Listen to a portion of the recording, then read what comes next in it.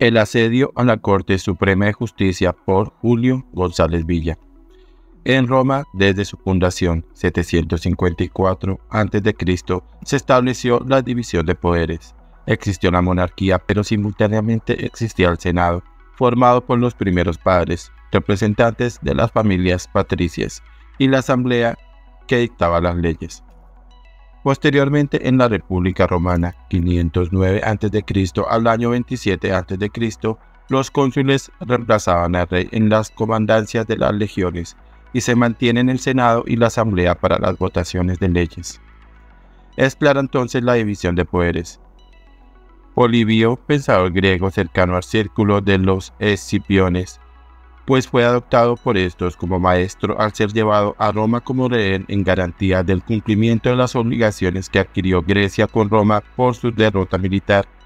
Atisbó la sana mezcla de poderes en Roma.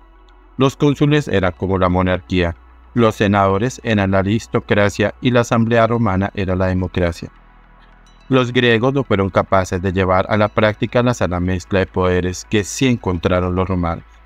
Los griegos solo teorizaron sobre las tres formas clásicas de gobierno y sus respectivas degeneraciones.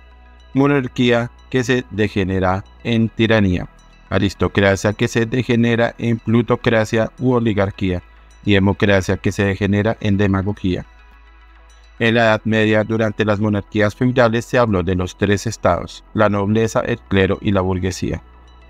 Los teóricos como Montesquieu, a de la Revolución Francesa, escribieron sobre la división y equilibrio de poderes, ejecutivo, legislativo y judicial. Estas tesis han encontrado en la democracia el clásico principio de los pesos y contrapesos, haciendo que cada poder se controle a sí mismo.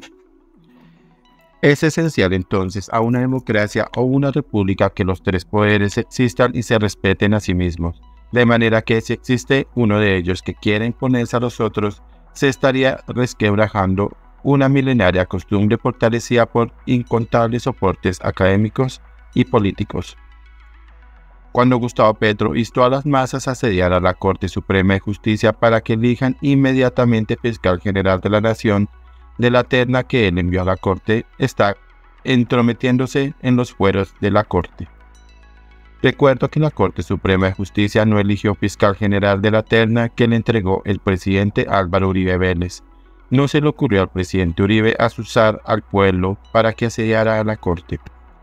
También recuerdo los tiempos que se tomó la Corte Suprema de Justicia para elegir fiscal general de la nación de otras ternas enviadas por otros presidentes. Tenemos que salir todos los colombianos a respaldar los fueros de los poderes públicos para evitar que una tiranía, que es el resultado de la degradación de un ejecutivo, destroce la democracia colombiana. Las Cortes son las que tienen que salir a defender la constitucionalidad y la legalidad. Son ellas las que determinarán qué acciones u omisiones del Ejecutivo y o del Legislativo vulneran el Estado de Derecho. Colombia entera tiene que expresar el rechazo al asedio al que fue sometida la Corte Suprema de Justicia por parte del Ejecutivo. Lo que ocurrió el pasado 8 de febrero al intentar una masa alentada auspiciada, empujada por el presidente de la República, entrar a la corte, insultar a los magistrados, cercarlos, retenerlos, presionarlos, obliga a un serio análisis sobre el peligro del Estado de Derecho en Colombia.